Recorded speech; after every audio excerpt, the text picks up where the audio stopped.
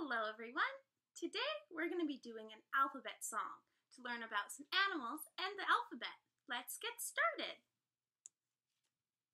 A is for alligator swimming through the swamp. B is for bear walking through the forest. And C is for crocodile showing us its teeth. And D is for dog, looking for a treat. E is for elephant, showing us their trunk.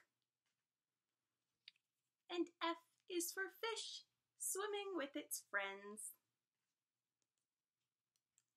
G is for giraffe, he is very tall. H is for hedgehog, curled into a ball. I is for iguana, sitting on a stick. And J is for jaguar, running all ballistic. K is for kangaroo, hopping to say hello.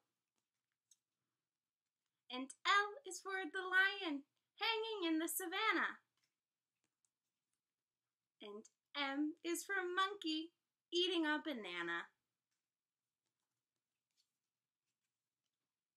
N is for narwhal swimming through the ocean.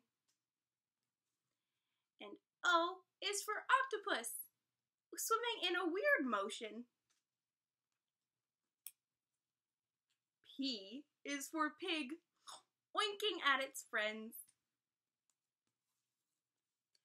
And Q is for quail walking across the road.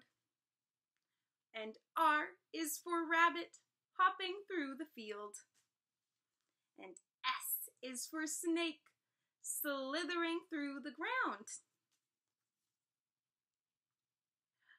T is for turtle, not making any sound. U is for unicorn, all sparkly and pink. And V is for vulture, flying through the sky. W is for wolf, howling at the moon. X is for x-ray fish. What do they even do? Y is for yak, walking with its pack.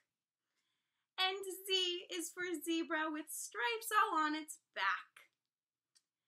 Thank you for listening to the alphabet song with me. I hope you enjoyed it. Thanks.